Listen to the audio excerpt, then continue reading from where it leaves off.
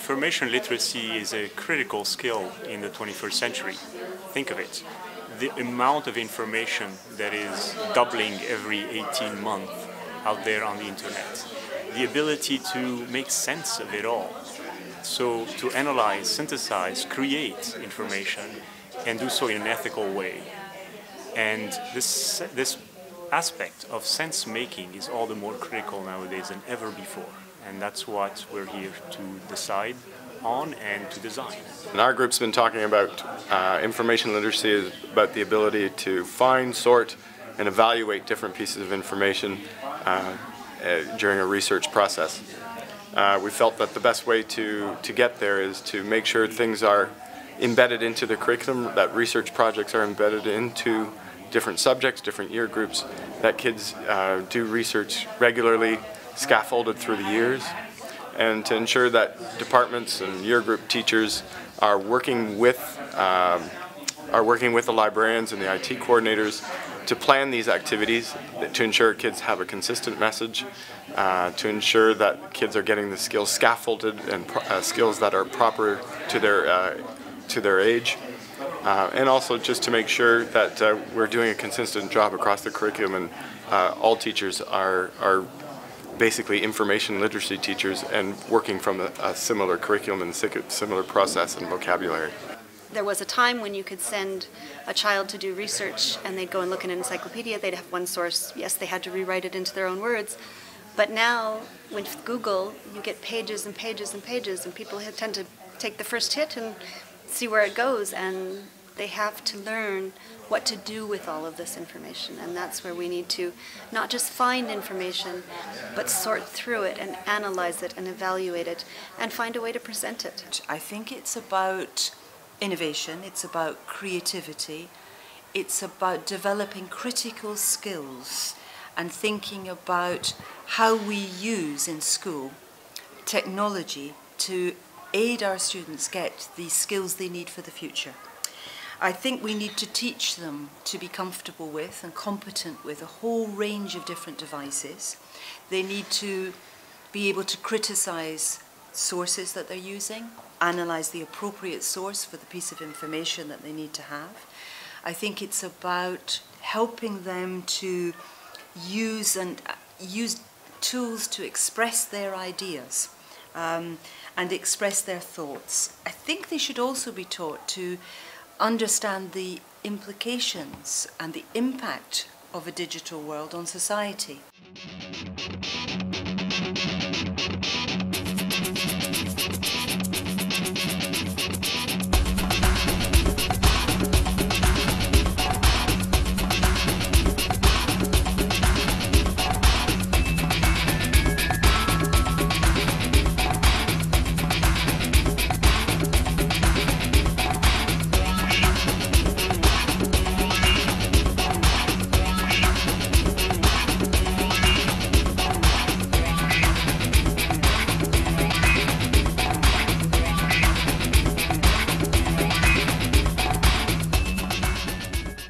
STEM learning in the 21st century is about collaborative, interdisciplinary learning. It's very different than what we're doing now, fixed within the classrooms. It has to be bigger, where students are involved with real-world issues, that they learn about what industries are working on, that they can be partnering up with industries, and that they feel that what they learn is immediately relevant to their personal futures, as well as to the world in which they live. It's a world of education that I see where mathematics and science and technology are all integrated and where it's the problem, the question that drives the learning that is into it, as well as the students and the questions that the student has. And I welcome that. I think as a teacher of mathematics, very often we're confined within the curriculum, within the classroom, and this opening up is a tremendous opportunity which is really driven by the demands made upon us, teachers, um, for what the students need to know. If you start thinking about what we do in the course of uh, schooling on those subjects, we spend a disproportionate amount of time on science and mathematics and actually quite little time on technology and engineering. In other words, a lot of time is spent on the natural world in science, but very little time on the man-made world, the human world. And that's something that needs to be addressed. So, not only will, be, will there be an effort to teach a lot more technology and engineering, but also rethinking within mathematics, for instance, what are the branches of mathematics that are much more relevant to the world of today?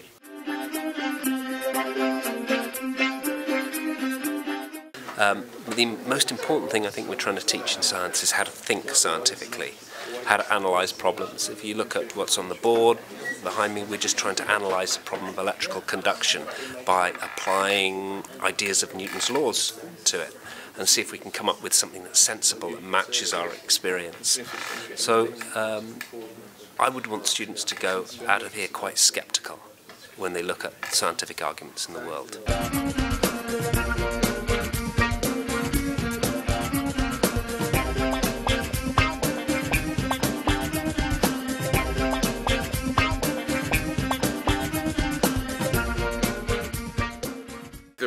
Study science is, um, you know, studying biology. You're studying ourselves in a way, and I think it's a way to, for us to get to know ourselves and to get to know our world.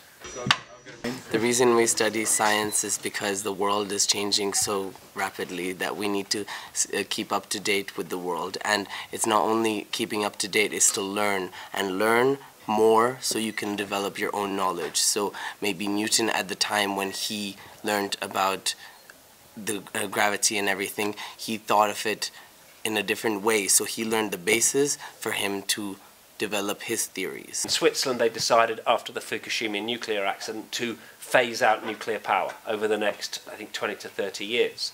That's what people have decided here. You know, is nuclear power dangerous? You need to sort of sit down and look at the evidence. Does, you know, is that a, is the waste released from nuclear power harmful? And also, you should prob probably be weighing that against, um, you know, what are your alternatives? What are your alternatives? Nobody ever factors in the number of coal miners that die in coal mines every year when they're looking at nuclear, the nuclear industry. You know, but actually, if you replace a nuclear power station with a coal plant, lots of people die in mining accidents. Should that be factored in? So, I mean, usually we say no because the people are dying in the mining accidents live somewhere else, and if the nuclear power plant blows up, it's going to affect us. But you see what I mean?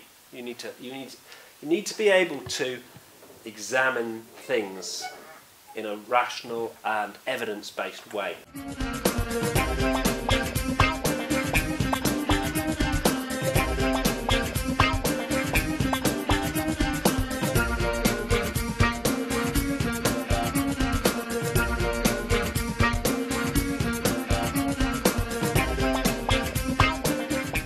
It is important to know more about sciences in the 21st century because it plays a big role. For example, physics that can be used for engineering, and without engineering, we wouldn't have the transport system that we have today, or like the civil engineering. Without that, we wouldn't have the buildings as we have today. I think it's important to study sciences at school because it's an important part of the human development. I enjoy physics, definitely, um, and I think the best way to teach any kind of science is with practical application so you can understand how it's actually used in the real world for yourself and for um, scientists. So, um, yeah, for any science, having um, experiments and things like this are the best way of teaching. I think it's also interesting to look at other people's work and learn from that. Uh, if the schools don't have the resources to go to like CERN, for example.